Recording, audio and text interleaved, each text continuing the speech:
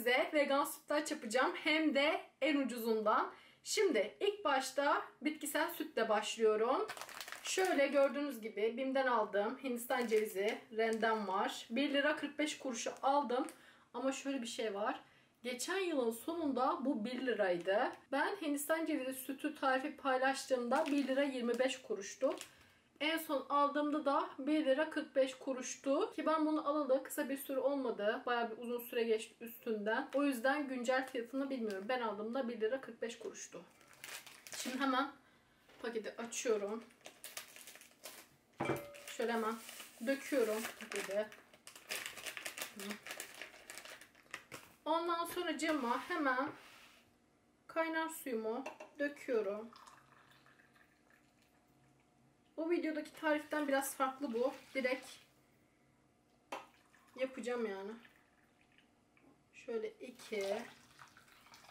Kuplu bardak seçerseniz daha iyi olur. Eliniz yanmaz kaynar su dökerken. Şöyle de 3 Normalde iki buçuk bardak süt elde edeceğiz ama hani böyle yarım bardakta hani içini çeker Hindistan cevizi bir şey olur. Böyle buharlaşır suyu falan filan derken o yüzden 3 bardak için yapıyorum ben. Şimdi hemen blenderımı şöyle içine daldırıyorum ve çalıştırıyorum. Evet blenderdan geçirdik şimdi. Oh. Süzeceğiz. Hemen süzgecimi falan getireyim. Ortamı hazırlayayım. Şöyle de başka bir kaba süzgecimi koydum. Ama bu süzgeçten geçeceği için şöyle bir bez yardımıyla siz bez kullanmasanız da olur. Böyle çok ince e, bir süzgeç kullansanız da olur. Ben bazen öyle yapıyorum. Bugün hadi bununla yapayım. İyice bezimizi temizliyoruz. Şöyle üstünde böyle göremediğimiz tozlar falan varsa gitsin diye. Şimdi hemen şöyle içine koyuyorum. Ben zaten sürekli bunda bitkisel süt yaptığım için sürekli temiz halde.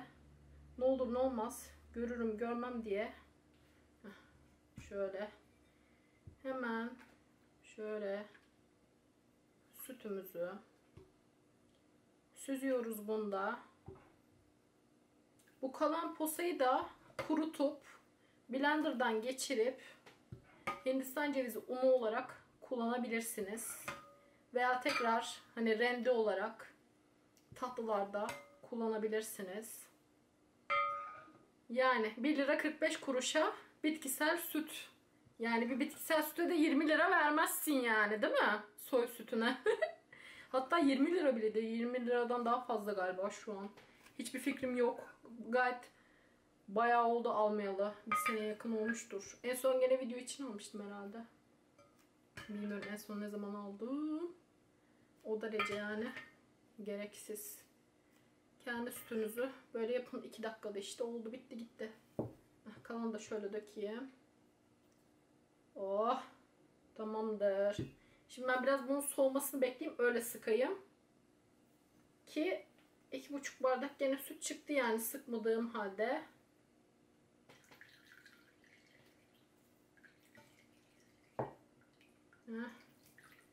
Şöyle biraz sallayayım.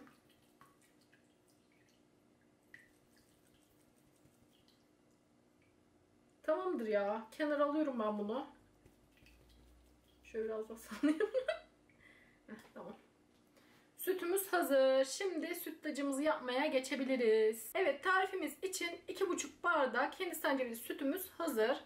Şimdi diğer malzemeleri de göstereyim size. Yarım su bardağı toz şekerimiz var. Tabi siz isterseniz başka bir e, şeker ikamesi de kullanabilirsiniz. Fark etmez. Bir e, çay bardağı da pirincimiz var. Ve birazcık da pirinç unu kullanacağız. Şimdi ilk önce pirincimi yıkayacağım ve haşlayacağım. Ben bunu yıkayıp geliyorum. Gördüğünüz gibi bir çay bardağı. Evet pirincimizi biraz yıkadım, duruladım. Şimdi hemen için atıyorum. Ondan sonra cıma birazcık kaynar su ekliyorum. Siz normal ısıdaki su da ekleyebilirsiniz. Fark etmez. Daha çabuk haşlansın diye ben kaynar su ekliyorum. Şimdi bunu hemen ocağa alacağım. Haşlansın. Evet pirincimiz haşlanıyor. Gördüğünüz gibi. Bakalım olacak. Pirincimiz haşlandı gördüğünüz gibi. İyice lapa haline getirene kadar haşlıyoruz. Bunun püf noktası bu. Diri kalmayacak. İyice böyle ya bu hale gelecek işte. evet pirinç lapamız burada gördüğünüz gibi. Büyük tencereye aldım sığmayacağı için. Şimdi hemen hindistan cevizi sütümüzü döküyorum bir bardağına. Oh. Bu bir. Bu iki. iki buçuk bildiğiniz gibi. Buçuğuna da pirinç unu koyacağım. Bir yemek kaşığı. Şöyle yemek kaşığım da burada. İnşallah düzgün dökerim. Yine masaya döktüm. Çaktırmayın. Şöyle bir yemek kaşığı pirinç ununu bu sütte biraz yumuşatıyorum, eritiyorum.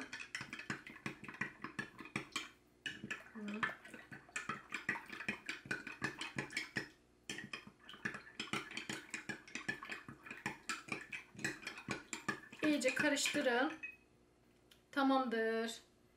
Onu da döküyorum. Ondan sonra cama son olarak yarım su bardağı şekerimi katıyorum. Siz dediğim gibi istediğiniz şeker ikamesi kullanabilirsiniz. Şöyle tahta kaşıkla karıştıracağım için öteki kaşığı içinden çıkartıyorum şekerim. Şöyle karıştırmaya başlayayım. Kenar alayım. Ha. Ocağı alacağım da şimdi. Öylesine bir kere böyle karıştırayım dedim. O dibi falan şey oldu ya. Pirinçleri falan ayağa kaldırdım. şimdi ocağa geçebiliriz. Evet sütlacımızı ocağa aldık. Şimdi hemen altını yakıyorum ama yanlışlıkla tabii ki de doğalgazı kapatmışım. Böyle de bir insanım. Oy. Tamam. Heh. Ay yaktım. Tamamdır. Şimdi bunu kaynayana kadar karıştıracağım. Onun dışında yapacak hiçbir şey yok. Bitti. Finito. Bu kadar basit. Adeta puding karıştırıcısına karıştırıyoruz. Dibine tutmasın. Yani o pirinçler falan yapışır bir şey olur. Sürekli karıştırıyoruz. Gördüğünüz gibi tahta kaşık kullandığım için ses de yapmıyor. Cızır cızır. Gayet hoş. Ben bunları Kipa'dan almıştım ya. Küçük tahta kaşık. Bunlarla yemek yemeyi çok seviyorum ben ya. Ayrı bir lezzet katıyor yemeğe. Hoşuma gidiyor. Neyse böyle karıştırmaya devam edeyim. Kaynayınca da altını kapatacağız yani. Hiçbir özelliği yok aslında. Kolaycana yapıyoruz böyle tatlıları. Bu arada buram buram Hindistan cevizi kokuyor. Eğer Hindistan cevizi tatlıları seviyorsanız buna bayılırsınız diye düşünüyorum. Ben hayatım boyunca sütlaç sevmedim ve Hindistan cevizi sevmiyorum. Ama bu tatlıyı sevebilirim diye düşünüyorum ya. Bir şans vereceğim ben bu tatlıya. Belki de çok seveceğim belli değil. Bakacağız. Ya sütlacı da sevmememin nedeni şu. Hani pirinci hep böyle pilavda yiyoruz, tuzlu şeylerde yiyoruz ya. Hani bu tatlı o yüzden garibime gidiyor. Tuzlu bir şeyin tatlı olması. Ama tam tersi tatlı bir şey tuzlu yemek şey olmuyor bende. Ona alışkınım. Ama tuzlu bir şey tatlı yemek hoşuma gitmiyor. Çünkü genelde tatlı sevmediğim için. Böyle değişik şeyler işte ya. Neyse kaynasını da göstereyim size. Evet sütlacımız kaynamaya başladı. Annem de bu arada ben bunu pişirirken yanıma geldi. Elinde şu ot. Dur bak göstereceğim. Şuraya koydum da. Şu ot ıtır otuymuş bu.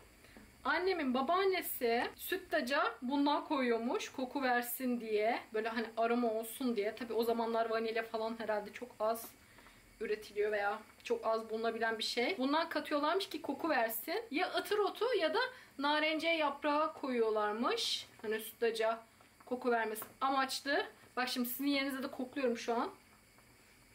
Bildiğiniz kokusu bence limona benziyor. Veya ben benzetiyorum bilmiyorum. Şimdi kaynadı ya bu. İçine atacağım bunu da. Şöyle aroma vermesi açısından. Ama bunu geri alacağım. 2-3 tur daha böyle fokurdasın. İçinden alacağım. Şöyle birazcık daha karıştırayım. Hı.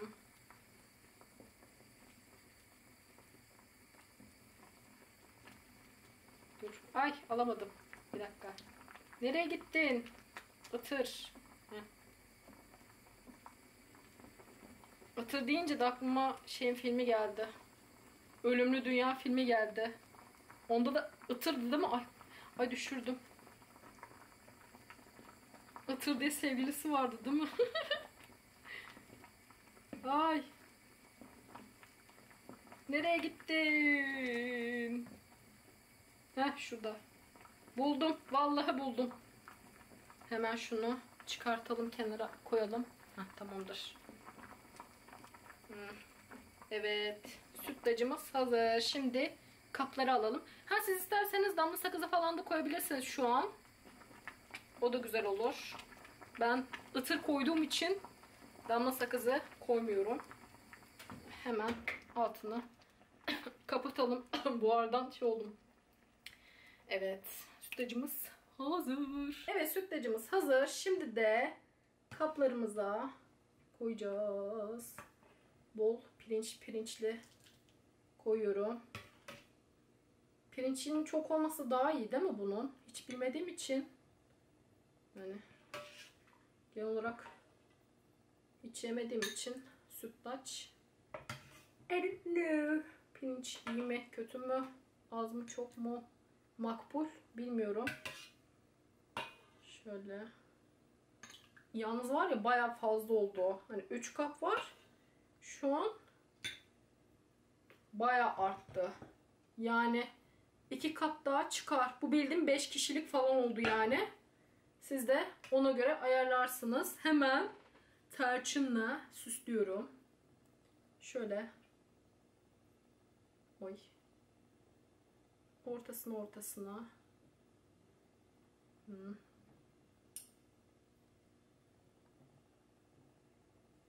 Evet.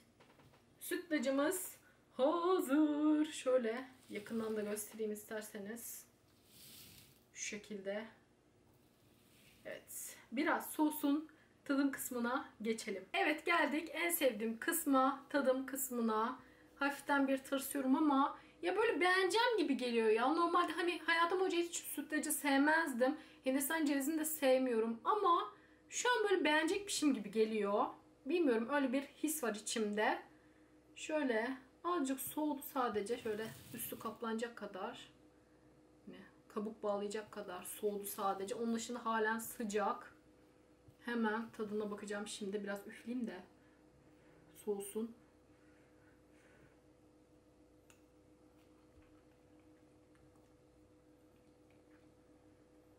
Oha!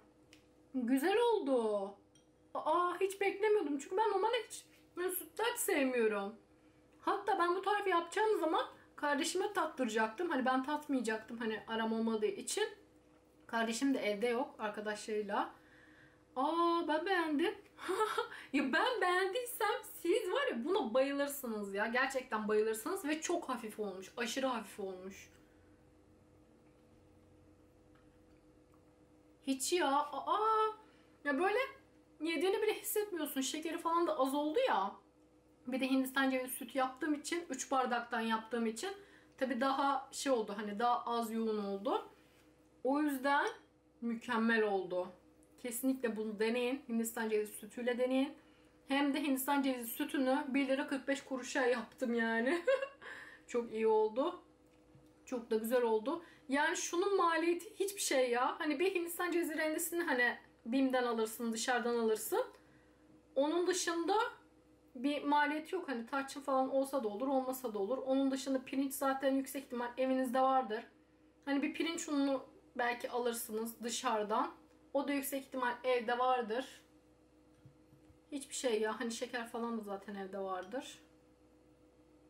Pes. Bravo ya. Valla. Aşırı hafif ya. Ben sevdim ya ben sevdim ya en başta. Aa, cidden çok güzelmiş. Bilmem belki ıtırdan da kaynaklı olabilir. Ama onun aroması hiç hissetmiyorum bilmiyorum. Böyle bir ekşi bir tat yok şu an içinde.